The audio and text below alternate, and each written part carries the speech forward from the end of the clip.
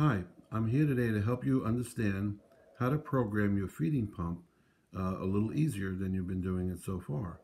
So take a look over here at my calculations.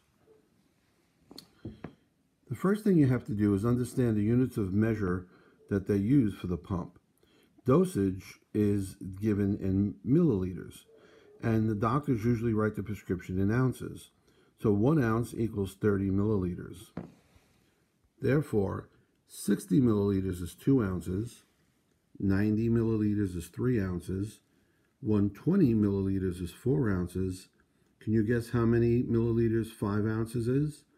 Well, it's 30 times 5, or 150, 150 milliliters. And 300 milliliters is 10 ounces. Now, the unit of time is done in hours, not minutes. So, of course, 60 minutes is in one hour. 30 minutes is a half an hour, 0.5. 45 minutes is three quarters of an hour, or 0.75.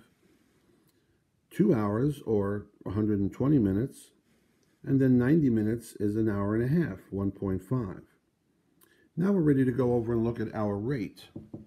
Rate is given in millimeters per hour.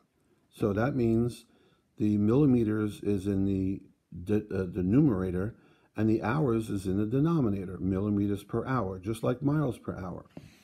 Okay, here's an example. We want to do dosage over time equals the rate. So, here's the example. We have 8 ounces in one and a half hours. So, the child has to get 8 ounces in one and a half hours. 8 ounces is 240 milliliters, correct? 8 times 30 is 240. In an hour and a half is 90 minutes.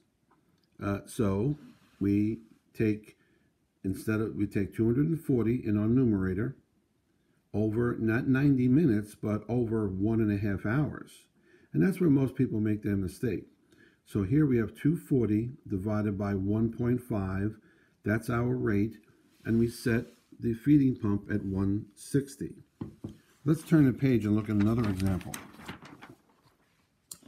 The doctor writes a, a, sample prescription, 40 ounces per day, and you want to do it in three feedings. So 40 ounces is 100, 1,200 milliliters, 1,200 milliliters. So we divide that by three for three feedings.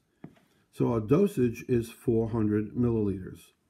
If we're going to give three one-hour feedings, that makes it very easy because now we're dividing by 1.